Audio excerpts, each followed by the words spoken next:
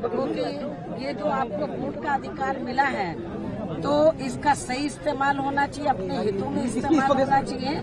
जो भी मतदाता करेंगे तो उनको जनहित में तो अपने वोट का इस्तेमाल करें ऐसी मेरी अपील है और किसी को भी घर में नहीं रहना चाहिए वोट डालने के लिए सबको निकलना चाहिए। चाहे महिलाएँ हैं पुरुष है युवा है जिनको भी जिनका भी वोट है उनको वोट डालने के लिए समय से ज़रूर पहुँचना चाहिए।